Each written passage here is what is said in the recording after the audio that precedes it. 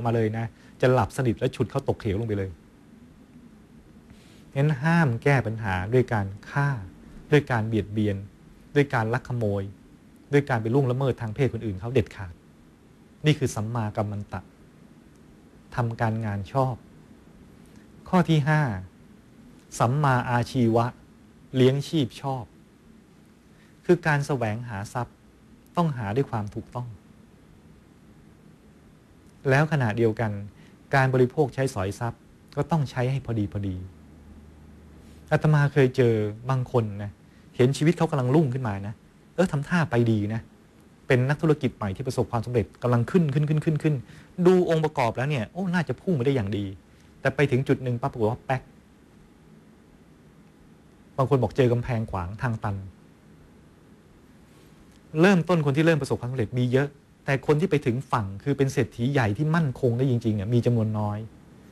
มาดูที่ว่าคนไปไม่ถึงดวงดาวแป๊กอยู่กลางทางเพราะอะไร ไปเจอจำนวนมากว่าเป็นเพราะว่าเขาไม่รู้จักประมาณในการบริโภคใช้สอย ปัจจัยสี่คือพอเริ่มมีรายได้มากขึ้นมาปับ๊บเที่ยวกินดื่ม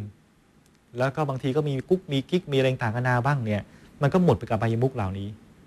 ผลคือ เงินทองที่กำไรมาควรจะไปใช้ในการลงทุนต่อ ถูกเอาไปใช้ปนเปลือความสุขส่วนตัว เรื่องอบายมุกทั้งหลายปั๊บเนี่ยเพราะอย่างนี้ปั๊บเงินช็อตเงินสะดุด ทีมงานลวนละ ขาดความไว้วางใจกัน ต่างคนต่างเม้ม ต่างคนต่างมิบเอาไปปั๊บเนี่ยผลคือ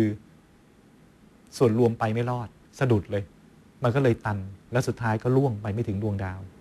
แต่คนจะไปถึงฝั่งแห่งความสำเร็จได้ จะต้องรู้จักควบคุมการ ใช้สอยทรัพย์ของตัวเองให้พอดี เริ่มมีไรายได้ขึ้นมา ก็อย่าไปฟุ้งเฟอ้อใช้แต่พอดี ไม่ใช่ว่าไม่ยอมกินไม่ยอมใช้เลยนะ ใช้แต่ใช้ให้พอดี อย่าให้เกินตัว รู้จักความประหยัด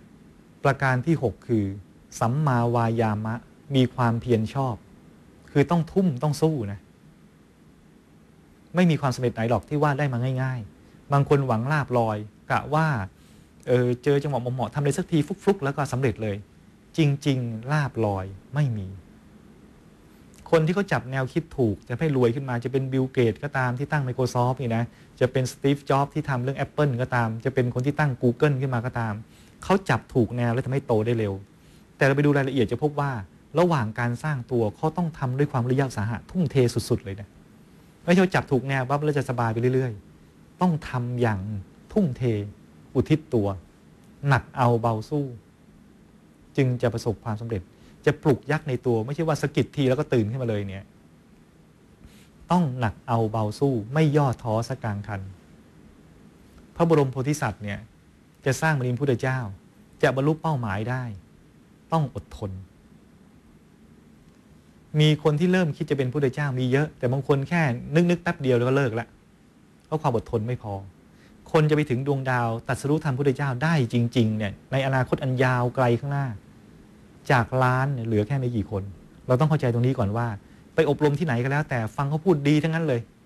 แต่ถ้าตราบใดเราไม่อดทนไม่ยืนหยัดนะไม่ตั้งใจทำจริง ๆ ไม่มีทางหรอกแค่ฟังเขาพูด เออเขาเก่งนะเขาดีสำเร็จ เรากลับมาถึงบ้านนอนอย่างเก่าเนี่ยไม่มีทางสำเร็จเลย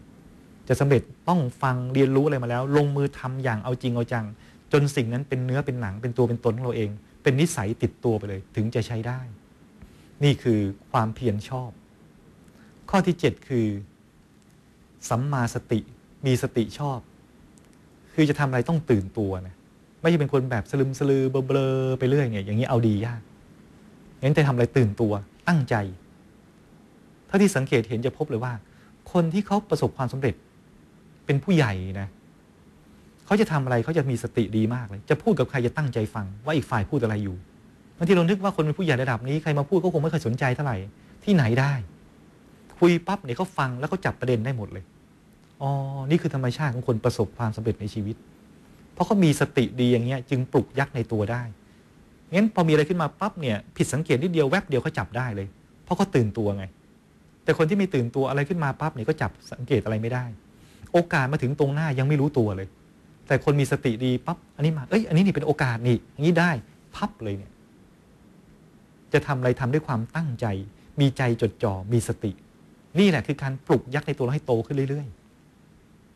ๆ ประการที่8มรรคองค์ที่ 8 คือสัมมาสมาธิ ได้แก่ว่าให้เอาใจเราเองจดจ่อทำสมาธิอยู่บ่อยๆ พอใจเรานิ่งเป็นสมาธิปั๊บจะเป็นการพัฒนาศักยภาพในตัวเราเองโดยตรงเลยนะ เหมือนแดดเราไปยืนกลางแดดร้อนๆเราบอกแดดมีอนุภาพ แต่จริงๆอนุภาพของแดดมากกว่านั้น